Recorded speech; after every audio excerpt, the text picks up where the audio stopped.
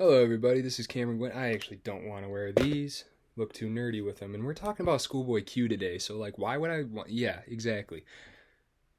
Hello, everybody. This is Cam Gwinn talking to you. You stumbled upon the YouTube page that talks a lot about a little. This is Cam Gwinn Talks. We got another vinyl review today. Today, we got Crash Talk. Now, I mentioned on my TikTok that, you know, I'm a huge Schoolboy Q fan. I don't think he's underrated, but at the same time, I think he kind of gets overlooked occasionally. Um, this hat kind of means something too. He just came out with a single this past Friday called Soccer Dad, Michigan Soccer. I'm a soccer guy. I like the song, go check it out. But let's talk about Crash Talk, okay? This album came out in 2019, April 26th to be specific, and it did actually get postponed. It was, I believe, supposed to come out in like November 2018, but Mac Miller died in September, and Schoolboy Q and Mac were like tight. They were super good friends. So he was kind of going through it when he died, and you know, he delayed the album. So, anyway, another couple cool facts about this album it is his fifth studio album. Um, Baby Keem and Kendrick helped produce quite a few tracks on here. Kendrick is in quite a few tracks. I don't know if that means he helped produce them or not. It's all written in here. So, yeah, without further ado, though, let's get into it. Track one Gang Gang. Now, I wrote down that it's like kind of a typical Q uh, Schoolboy Q sound. It's a little dark, but it's hype at the same time. But at the same time, now with this project, does Schoolboy Q really have a specific sound? I don't think so. But Gang Gang, you know, it's just kind of short. That's my only problem with it. So I got a seven, but it rolls right into track two, Tales, very just like seamlessly, just perfect, flawless. And like I said, it's picking up. Tales is picking up right where Gang Gang uh, left off at.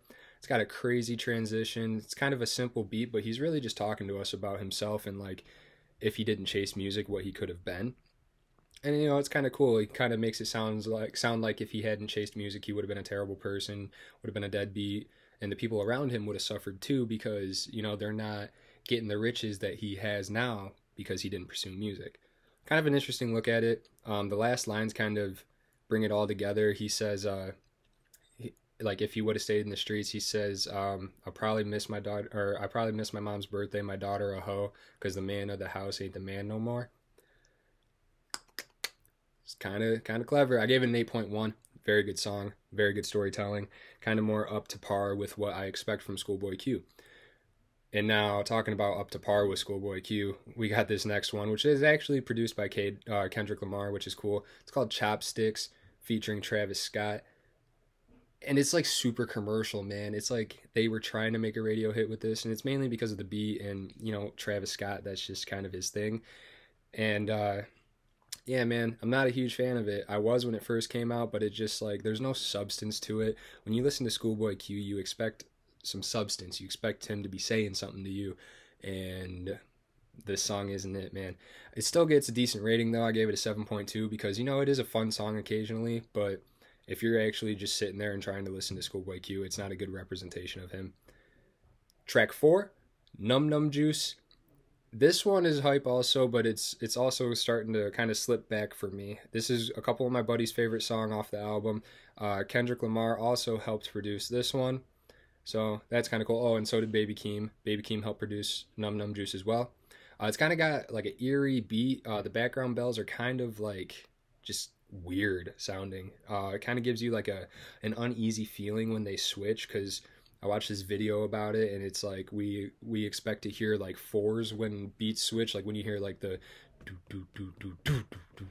like that type of thing. It's like fours usually. It's not threes, and he switches it in threes, so it sounds weird and off. And you know that's kind of what he's going for for it though. So I I get where he's coming from. I gave Numb Numb Juice a seven point nine. It's a good overall hype song. And then we go into track five, Drunk, featuring 6LACK.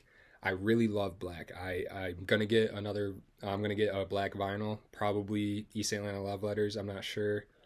Um, but either way, we're going to be doing some 6LACK in the future. Does he do well on this track though? Mm, I expect more from 6LACK. He kind of lacked. It was a little lazy. Um, lazy is probably not the best word, but that's that's how I would describe it. He sounds a little lazy in this. You know, he's not as good as what he normally does. He's kind of just like mumbling through his verse in a way. He doesn't actually like show you that he can sing like he can. So, you know, that kind of sucks. It's still a good song though overall. Um, and again, Schoolboy is flexing what like the money is allowing him to do. So, it's a fun song, 7.7. And now I do want to mention that when Schoolboy was interviewed about this album, he said that he is trying to make it more happy, more fun because he is a lot happier with himself now, you know, with the riches that he has, with what music has allowed him to do. He's a lot happier. He's happy being a dad, you know, he's he's found a good spot in life and he's trying to show it through the music. And you know, he kind of does it throughout by saying like this is what could have happened to me, but look where I am now. And it kind of is a running theme throughout it. And, you know, this song doesn't really show you that. Track 6, Lies, featuring Ty Dolla Sign and YG this is a very good song. Baby Keem helped produce this one as well.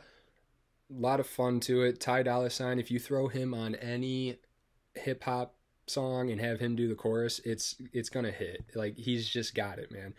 So Ty Dolla Sign does his thing. I think YG does awesome too. I'm not a huge YG fan. He's got a couple really good songs though. His verse is a little clever. Um, and you know, he just kind of rides what uh, the landscape that Schoolboy set out for him. Schoolboy's got this interesting kind of flow where it's like a little and you know it's kind of interesting and i think yg does a good job of kind of taking the template that schoolboy put out and using it in his best ability. He doesn't add anything to the song but he doesn't take away from the song. It's just like kind of another layer which is nice. I gave lies an 8 and then we go on to track 7 5200 and it's very hype. You know, this beat kind of feels like it could have been in Black Panther, which is interesting to me just because of the little. Uh, I don't even know how to describe it or what instrument it even really is or is supposed to be mimicking in the background, but it's a very interesting interesting sound to it. Uh, Kendrick is in the background and at the beginning. Um, I don't know if he. I don't think he helped produce this one, and I should mention that in uh, Drunk he is also in the middle, right before 6LACK starts going, you hear Hold Up, and that's Kendrick. You can just tell. You know his voice if you're a Kendrick fan. So he's also in 5200. and He does the background vocals and stuff like that. And, you know, Q does his thing. He's flexing about his riches again, and he does truly sound happy in this song, which is cool. We want to see Schoolboy be happy. He's a great guy. He seems like a great guy. I don't know him. 5200 gets an 8.2. And then we go into track 8, Black Folk and um, it's kind of an interesting beat. I wrote on here that it kind of sounds like Mario 64, which, if you guys know, you know, one of the GOAT games. Um, it's actually very interesting. I pulled a couple a couple lines from actually I didn't even pull the lines. I just kind of explained what the lines mean. But he's essentially saying that like he could have been a basic street dude and you know, if he hadn't chosen to pursue music, you know, the people around him would have struggled. Like I said, this is a running theme throughout this album. And he's kind of just like also how I don't know the right way to bet the best way to put this really, but he's also saying that like there are a lot of dudes out there that do the gang banging stuff and you know if they were to focus on something other than that, something they're actually passionate about, like music, like maybe athletics, maybe they want to be a doctor, maybe they want to be a therapist, you know, if they really truly focused on that, they would be great at it and you know that's kind of a, a sad reality that we live in. There are a lot of brilliant people out there that just don't try. You see what i'm saying? So black folks get it uh black folk gets an 8.1 it's a really good song and if you don't know it like it's he's it's it's kind of short but he does his thing on it. Track 9 floating featuring 21 savage. Um you know the piano like i said earlier there's a little bit of an off put putting this to some of these uh, beats and this one's no different. There's a piano in the background and you know it, it does right for the song but at the same time it's kind of weird and 21 does his thing. He's been getting a lot better recently from when he first started. When he first started i i couldn't stand him. I really couldn't. I was like this guy is not that good. Why is everyone so hype on him? But he's been growing on me recently and he's actually becoming in my opinion, a better rapper, a better artist overall. Um, but this song doesn't really do it for me. And honestly, if I go back and I re rank these, this song will probably get a worse rating. The more and more I listen to it, the more it's just kind of. Mm, again, lazy is probably not the right word, but compared to what we normally get from Schoolboy, it's kind of lazy. So I gave that one a 7.4. It's still a solid song. But then track 10 is a very good song. We got Dangerous featuring Kid Cudi And you know, it's a very spooky type of beat. It's off putting again, like I said. And there's uh the whole chorus essentially is Kid Cudi saying, I'm feeling dangerous. I'm feeling nauseous. And then I wrote down on here that like the beat kind of sounds nauseous in its own right. Like it's it's a really weird beat, but it works. I don't know how to explain it. Um, so I did write down a couple other quotes from it because it is a very interesting song, like I was saying. Schoolboy at the very beginning, or not at the very beginning, but to start off one of his verses, he says, "I took a," or to end one of his verses, he says, "I took a pill and it swallowed me whole," and you know he's just kind of showing you like where he's at in that moment. He's doing some drugs, and he also says, "Flying ain't flying when you're stuck on your ass," and it seems like when you know when you watch a, a portrayal of somebody popping pills unless it's like a specific hype pill type of thing. He's probably talking about Xanax or something like that in here.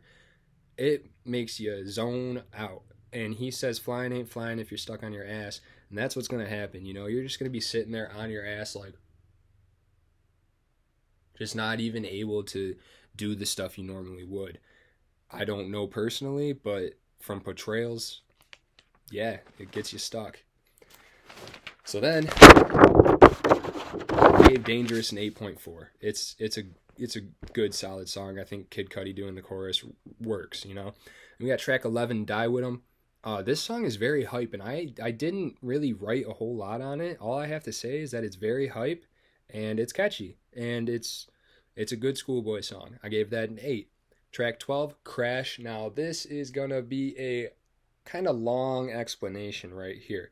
This song is awesome. This was my favorite one coming into it, and no surprise it still is. That's how it usually works with the newer albums. If it's my favorite going in, it probably still will be my favorite when we're done with this. So now that you know that, let's talk about it. I feel like it's a little different for Q to do something like this, but he does a great job with it. Um, and like I mentioned, you know, he was talking about how this album is like kind of a growth to where he is now and kind of a reflection of like being a father and all that. Um, and he's got a couple lines in here where he's straight up like speaking to younger artists and he says, You buy a chain but won't buy no land that hashtags say desperate. I'm kicking game for these young because one day they one day they'll meet my daughter. And when you put it like that, you know, it makes a lot of sense because a lot of the dudes bubbling up right now are very young. And I don't know how old his daughter is really, but she's got to be probably double digit age wise now, like 10 maybe. I'm not, like, again, I shouldn't speculate. But either way, I totally get what he's saying, and it makes a lot of sense. He's trying to, like, kind of, like he says, I'm kicking game for, for the youngins. And it's kind of interesting. The more and more you listen to it, the more and more you see he goes from, like, I was getting to a certain point, then I crashed and then it just keep bringing me up. Um, I believe he also says in this song um, something to the effect of "Who knew a loss would teach you so much" or something like that. Either way, "Crash," great song, eight point seven. Then we go into track 13, Water featuring Lil Baby. Um, it's a quick flex, but it is by far not. It's probably the worst song on this album. It's not a terrible song, but I feel like Lil Baby's verse isn't that great. Lil Baby, again, he's been he's been getting better and better and better the more he releases stuff. So this is one of his earlier releases, and you know he does all right, but it's it's mm, nah. It got a seven, and then the final track, track fourteen, we got attention, and all pun intended, it got my attention. I honestly must have just been lacking every time I listen to this song. But you know, he's talking about his accomplishments and like what it took for him to get there and you know, he talks about how he dropped out and he started doing the gang stuff. And you know people were probably looking at his mom like oh another single mom with a deadbeat kid which you know that kind of sucks. And he's like kind of going through what it took for him to finally get off his ass and start making music and start taking it seriously which you know it's a very good song. I like the way he tells it. Uh, the lyrics in it are awesome. Beat is it fits perfectly. So attention gets an eight and a half. It is it is an awesome song honestly. So overall all of that said this album as a whole gets a 7.87 solid album. Not much complaints about it except for you know um, water Lil Baby could have done better uh, drunk 6LACK could have done better in my opinion and gang gang if it was just tied into Tales that would be a very good song it's just a little too short. So the worst ratings are Gang Gang, and Water, and then the best rating is Crash. So overall, we get an average of 7.87, solid average, good album. So how does it sound on vinyl? It sounds fine. You get another 7.87 for that. For the artwork, it's the same as what we see on digital. Set down my microphone. Same as what we see on digital, but I do appreciate these pictures right here, kind of showing you where he's from. Like we got uh, 52nd Street School, which if you know, 51st and Fig, it's not that far from 52nd. I gotta imagine. Um, so you know that stuff is kind of cool. I gave that a six just because it's like a little a little nod to like where he's from. We get to see a little bit. Um, but the disc though, the disc though. First of all, the cover is kind of cool. I don't have any other ones that have a black cover like this. Most of them are white, or they have like a decoration on them. So it does it make the disc look cool? No, it's just a black disc. So it gets a five on that. So overall, this album, and before I even say it, I'm gonna repeat myself don't take the vinyl review score to heart if you're only trying to find out if you like this album or not. The average of a 7.87 that tells you that it is a solid album, but with it only having a black disc, not a whole lot of extra stuff for the artwork, that drops its score down to a overall 6.69. That's about where a lot of these albums are sitting. It makes sense. It's because of the black disc. It's because of the not having like an extra poster in it and stuff like that. But I got this album because I like this album. That's I'm gonna have to keep reiterating myself on this. I feel like, but you know, what else can I say? Great album, Crash Talk by Schoolboy Q. Go check it out if you haven't. Favorite song on it is Crash. Second favorite is Attention go check it out. It's a great song. And if you liked this video, why don't you drop me a like? It's super easy for you. It helps me out. And, you know, if you are kind of hyped about what I've been doing, feel free to subscribe. I'm not going to force your hand to, but go ahead and do it. And, uh, you know, we got a couple more interviews coming out. I'll spin this wheel and uh, we'll find out what we're doing next. Thank you guys for watching.